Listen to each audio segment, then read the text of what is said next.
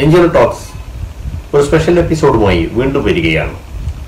ഇന്നലെ കോഴിക്കോട്ടെ സാമൂഹ്യ പ്രവർത്തകനായ എഞ്ചിനീയർ ഹാഷിർ അലി അയച്ചു തന്ന കണ്ണൂരിലെ ഒരു അനിഷ്ട സംഭവത്തിന്റെ വീഡിയോ ആണ് ഇതിനാധാരം നിങ്ങൾ ഈ ചാനൽ സബ്സ്ക്രൈബ് ചെയ്തിട്ടില്ലെങ്കിൽ സബ്സ്ക്രൈബ് ചെയ്യുക. പ്രവാസികൾക്കും നിങ്ങളുടെ കൂട്ടുകാർക്കും ഈ ചാനൽ ഷെയർ ചെയ്യുക. ഒരു റെസിഡൻഷ്യൽ ഫ്ലാറ്റ് പ്രവാസികളുടെ ക്വാറന്റൈൻ താമസത്തിനെടുത്തതിനെതിരെ പ്രതിഷേധിക്കുകയും അതിനെതിരെ പ്രതികരിക്കുകയും ചെയ്യുന്ന നാട്ടുകാരും അവരെ തടയാൻ ശ്രമിക്കുന്ന നിയമപാലകരായ പോലീസുകാരും തമ്മിലുള്ള സംഘർഷമാണ് ആ വീഡിയോയിലൂടെ വിഷയം. ഹോം ക്വാറന്റൈനിൽ പോകുന്നവരെ ഒരുതരം ഭീതിയോടെ നോക്കുകയും ശത്രുക്കളായി കാണുകയും ചെയ്യുന്നവരുടെ വികല മനസ്സാണ് ഇങ്ങനെയുള്ള സംഭവങ്ങൾക്ക് കാരണം.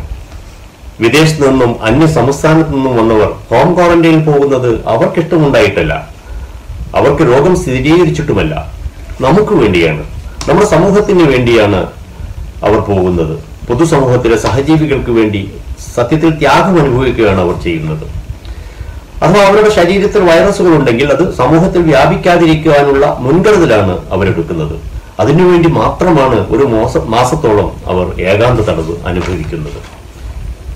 അവരുടെ ക്വാറന്റൈൻ കാലത്ത് അവരെ ആശ്വസിപ്പിക്കുവാനും അവർക്ക് കരുതൽ നൽകുവാനും ശ്രമിക്കുന്നതിന് പകരം എന്ത് ക്രൂരതയാണ് എന്ത് നന്ദികേടാണ് നമ്മിൽ ചിലരെങ്കിലും അവരോട് കാണിക്കുന്നത്? ഇന്നലെ വിദേശത്തു നിന്ന് വന്ന വടകര മേമുണ്ട സ്വദേശി ബിബീഷിന്റെ അനുഭവം ഇന്ന് നാം പത്രങ്ങളിൽ വായിച്ചു. ബിബീഷ് ക്വാറന്റൈനിൽ താമസിക്കുന്ന വീട് ആക്രമിക്കുകയും ജനലും മറ്റും തകർത്ത് അയാളെ ഭീഷണിപ്പെടുത്തുകയും ചെയ്തത് പുറമെ നിന്ന് വന്നവരൊന്നുമല്ല തൊട്ടപ്പുറത്ത് അയൽവാസിയാണ്.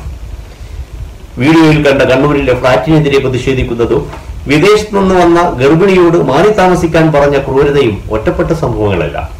വിദ്യാഭ്യാസവും സംസ്കാരവുമുള്ളവരാണ് മലയാളികളെന്ന് മേഞ്ഞു നടിക്കുന്ന കേരളത്തിലാണ് സ്വന്തം വീട്ടിലേക്ക് വന്ന ഗൾഫ് സഹോദരനെ ദാഹിച്ച വെള്ളം പോലും കൊടുക്കാതെ ബന്ധുക്കൾ തന്നെ ആട്ടിപ്പായിച്ചത് എന്തൊരു ക്രൂരത. എന്തൊരു നന്ദിയില്ലായ്മ. നാം മലയാളികൾ ഇത്ര തരം താഴാമോ? മാന്യതയിലും സംസ്കാരത്തിലും വിദ്യാഭ്യാസത്തിലും ഉയർന്നു നിൽക്കുന്ന നമ്മുടെ സംസ്ഥാനത്ത് ഇത്തരം ഇത്തരം അനിഷ്ട സംഭവങ്ങൾ ഉണ്ടായിക്കൂടാ. പ്രവാസികളായാലും അന്യ സംസ്ഥാനത്ത് നിന്ന് വന്നവരായാലും അവരുടെ ക്വാറന്റൈൻ താമസം അവർക്ക് വേണ്ടി മാത്രമല്ല നമുക്ക് രോഗം വരാതിരിക്കാനുള്ള മുൻകരുതൽ കൂടിയാണ്.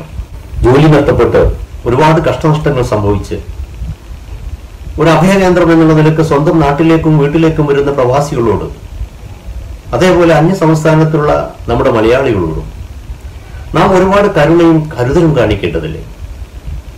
അവരോട് നാം നല്ല രീതിയിൽ പെരുമാറേണ്ടതില്ലേ? അവർക്ക് വേണ്ട സൗകര്യങ്ങളൊക്കെ ദൂരെ നിന്നുകൊണ്ട് നമുക്ക് ചെയ്തു കൊടുക്കേണ്ടതില്ല? അങ്ങനെയുള്ള ഒരു സംസ്കാരമല്ലേ കേരളത്തിന്റെ നമ്മുടേത്? അതുകൊണ്ട് അവരെ സഹായിക്കുന്നതോടൊപ്പം അവരെ അവരോട് നല്ല രീതിയിൽ പെരുമാറുന്നതോടൊപ്പം അവർക്ക് കരുതലും കാരുണ്യവും നാം നൽകുന്നതോടൊപ്പം തന്നെ നമുക്ക് രോഗം വ്യാപിക്കാതിരിക്കാനുള്ള ജാഗ്രത ഉണ്ടാവുകയും വേണം. അങ്ങനെയുള്ള ഒരു സംസ്കാരമാണ് നമ്മുടേത്. അതുകൊണ്ട് പ്രവാസികളായാലും ശരി അന്യ സംസ്ഥാനത്ത് വരുന്ന മലയാളികളായാലും ശരി അവർ ക്വാറന്റൈനിൽ താമസിക്കുന്നത് അവർക്ക് വേണ്ടി മാത്രമല്ല നമുക്ക് കൂടിയാണ് എന്നുള്ളൊരു ബോധം നമുക്കുണ്ടാവുകയും അവരെ കഴിവിന്റെ പരമാവധി നാം സഹായിക്കുകയും വേണം.